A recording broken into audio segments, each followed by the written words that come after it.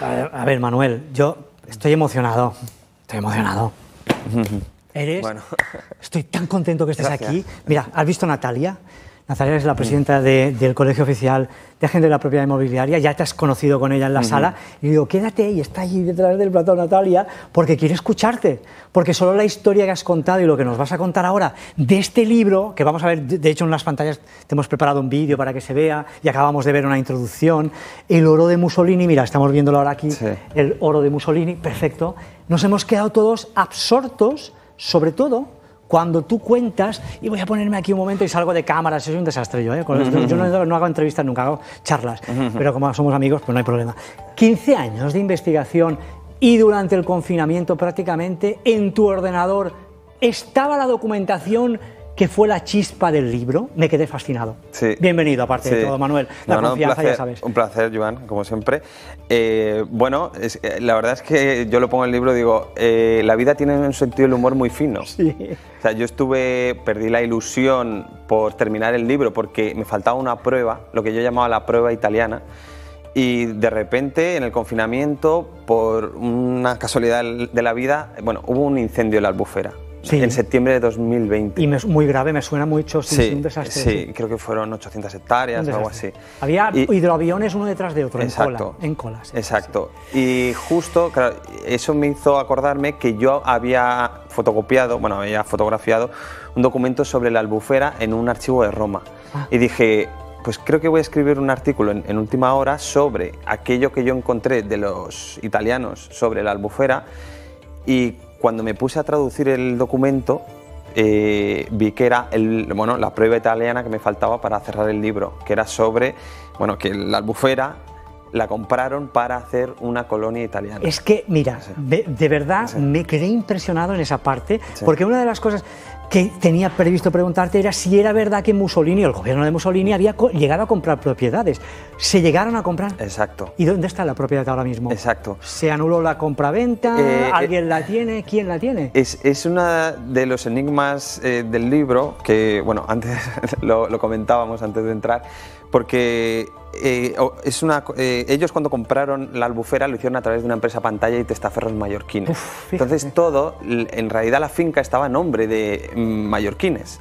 ¿Y qué pasa? Pues con la Segunda Guerra Mundial y la derrota del fascismo, Mussolini desaparece, su administración desaparece, todos los que estaban implicados desaparecen y parece que se olvidaron de aquella compra que habían hecho en Mallorca para crear una colonia italiana, porque luego yo he visto en el registro mercantil eh, que sale el historial de esa empresa pantalla que crearon y, sal- y cambian los titulares de la, de la empresa y son nombres mallorquines que se van sucediendo, pero no dicen por qué cambian. O sea, no vuelven a aparecer los italianos. A partir Increíble. del año 40 por ahí no, no vuelven a aparecer. Yo no te voy a hacer una entrevista en plan eh, televisión española, la 1 que te entrevistaron hace meses, o 13 Televisión, o IB3. Te- has pasado por muchas cadenas. Faltaba que nosotros arrancáramos el programa para que pudiera venir a Fiwi y espero que no sea la última vez porque tú eres un hombre muy activo con la escritura, eres un crack y espero que vengas cuando quieras. Lo que estamos viendo de fondo, la gente dirá, bueno, ¿de qué me están hablando? Y yo permíteme y corrígeme si, si, si hago una micro intro, Sí. corrígeme si me he equivocado. Todo viene a que Manuel, que es periodista, historiador, es un joven que ha dedicado parte de su vida a esta investigación, Manuel decide, um, encuentra una documentación, que incluso luego nos contará que ha estado en Estados Unidos también buscando esta documentación. ¿Por qué? Porque parece ser que Italia, lo voy a decir tal cual porque hay muchos datos, Italia, la Italia de Mussolini evidentemente, o la Alemania de Hitler, Sí. Podrían haberse quedado con las Baleares o con Canarias, Canarias. a cambio de comprar, y lo pongo entre comillas, comprar la neutralidad durante la guerra civil. Fijaos, ¿eh? ¿Quién? El gobierno republicano, que era el largo caballero, Sí. si no recuerdo mal, del Partido Socialista, no digo por nada, ¿eh? digo el Partido Socialista porque tú lo explicas, ¿eh? dice que veía que perdía la guerra, negoció a través de unos espías, que luego nos lo contará en Mónaco, la posibilidad de ceder estos territorios a los nazis, a los fascistas, precisamente para que dejaran de apoyar a Franco, para que salieran de la guerra eh, las tropas sublevadas de Franco. Claro, todo esto la gente dice, momento, momento, ¿me estás diciendo que sobre la mesa, y está en estas cartas aquí, dice, ha decidido adquirir en Baleares mm, al contado propiedades particulares? Es que son cartas, pero yo te pregunto, ¿cómo has verificado la autenticidad de esta documentación?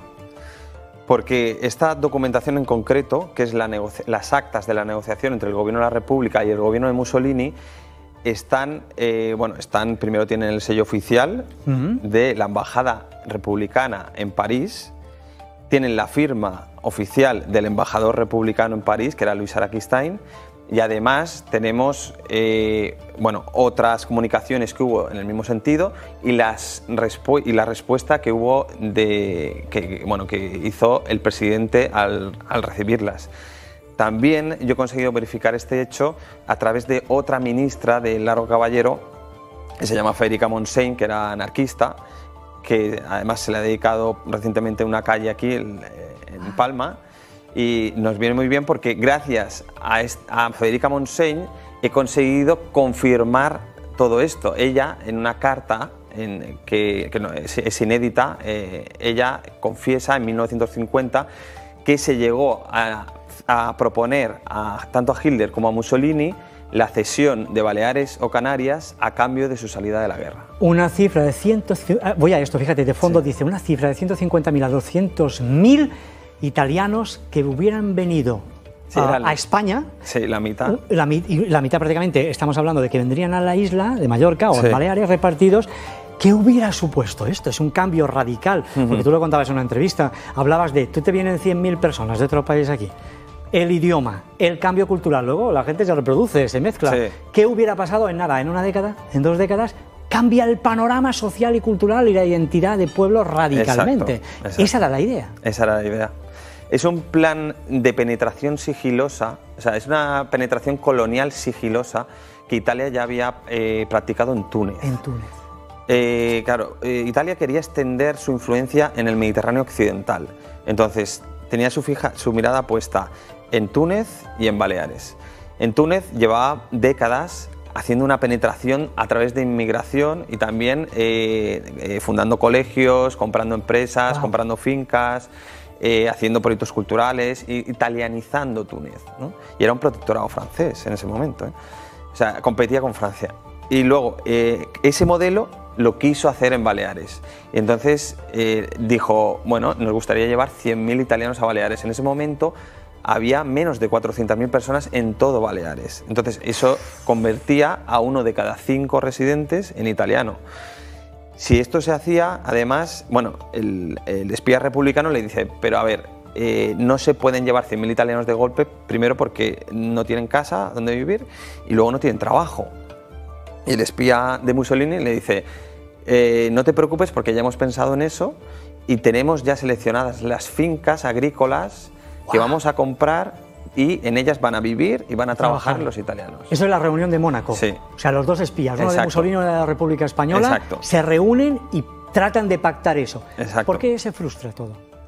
Se frustra por diferentes motivos. Los dos principales son la presión del Reino Unido. El Reino Unido se entera de esta negociación y, presiona muchísimo eh, a, a todas las partes, pero sobre todo a Italia, como avisándole diciendo si tú pones un pie en Baleares, a nosotros es una amenaza vital para, para, nuestro, bueno, para nuestro país y nosotros vamos a intervenir. O sea, ellos tenían eh, planteado Reino Unido y Francia, y Francia sí, sí. intervenir para defender Baleares para que los italianos no estuvieran aquí, porque sabían que si los italianos tenían Baleares podían cortar toda comunicación, bueno, controlarían la entrada al Mediterráneo. Claro, claro. Y, y, luego la, la, otra causa es eh, que cambiaron al presidente del gobierno. En, que era Zaña, que creo que. No, no, cambió de Largo Caballero a Juan Negrín. ¿Qué, y, Azaña era el presidente de la República. ¿Y Azaña qué le dijo a Largo Caballero? ¿No fue, bueno, entonces no fue que le. Azaña también estaba al tanto de todo. ¿Pero estaba en contra de esa operación? Él, eh, claro, él en sus memorias dice que estaba en contra de la, de la cesión de soberanía. Mm. Lo dice así por encima. Él no habla de esta operación porque esta no operación era secreta. ¿No le destituyó por esta razón, crees, a Largo Caballero? No, no, en realidad le destituyó mm. por otra. Le ah, destituyó por otra. Entiendo. Él estaba al tanto de las negociaciones, además que transcurrieron desde enero hasta hasta, bueno, empezaron en enero con Alemania y luego, eh, luego con Italia, hasta junio, o sea, fueron, eh, perdón, hasta abril, eh, fueron cuatro meses de negociaciones y son largas, hay muchas comunicaciones y claro, el, tanto los ministros como el presidente de la República estaban al tanto y habían dado el ok. Yo, Pero Eh, luego cambia, en mayo del 37, cambia el gobierno de Lago Caballero por Juan Negrín y Juan Negrín suspende las negociaciones con Italia y Alemania y se centra en comprar la intervención de Francia y Reino Unido. Manuel, yo me voy a quedar con muchas ganas de, todo, pero, ¿sabes? Quiero que sirva de apunte, sino que vayan a tu YouTube, Manuel Aguilera, o que vayan a tu Instagram, que busquen información y, sobre todo, ¿dónde pueden adquirir el libro? Manuel. Pues eh, en cualquier librería, eh, en el corte inglés, en Amazon. Pues esto no es un libro, ¿eh? ¿Es consciente que es una joya de nuestra historia? Esto, además, te provoca una reflexión. Hmm. Y es, si los políticos de esa época fueron capaces, seguro que hmm. sabes a dónde voy, son capaces de poner en la mesa incluso territorio soberano, ¿qué puede estar pasando hoy en día? Tenemos una guerra, tenemos una sociedad con una gran incertidumbre, nunca sabremos la verdad. Y como se suele decir, y esto creo que lo escuché decir en alguna parte, no sé si en una entrevista tuya, la primera víctima de una guerra es la verdad. Exacto. Y por ahí, por ahí están los periodistas como Manuel, escritor, historiador, para rascar ahí en esa historia y decir, eh, eh, párate, que de a dónde vamos lo podemos más o menos discernir o por lo menos intuir si sabemos de dónde venimos. ¿Eh? Y entonces, de verdad, enhorabuena por la obra que has realizado. Muchas gracias. Va a ser una de mis lecturas de este verano, ya te lo digo ahora. Espero que vuelvas más a este programa, que es tu casa. Y ya sabéis dónde podéis encontrar el libro. Tu canal de YouTube, ¿alguna información más que quieras para si alguien quiere ampliar información? Aparte del libro, por supuesto. Eh, no, no, bueno, eh, yo también tengo un blog que a veces voy ampliando. ¿Cómo es para encontrar? Sí, se llama Tejiendo Historia, pero si ponen en Google Manuel Aguilera blog o algo así, Perfecto. ya, ya le sale y voy ampliando otras cosas que encuentro y tal. Ah, muy bien. Alguien que tenga el libro además puede seguir ampliando información. Ahí seguramente podrás, podrá ampliar la gente lo del viaje a Estados Unidos, todo el tour por el mundo buscando y corroborando si eso era correcto o no, ¿no? Sabes, es que tú tienes una entrevista ahora, amigo mío. No de 12 minutillos